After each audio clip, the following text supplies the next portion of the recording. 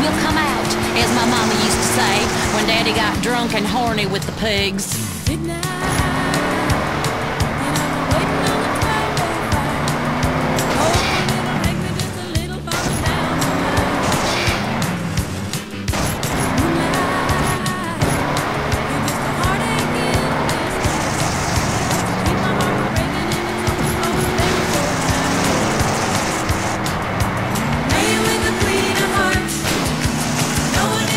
In the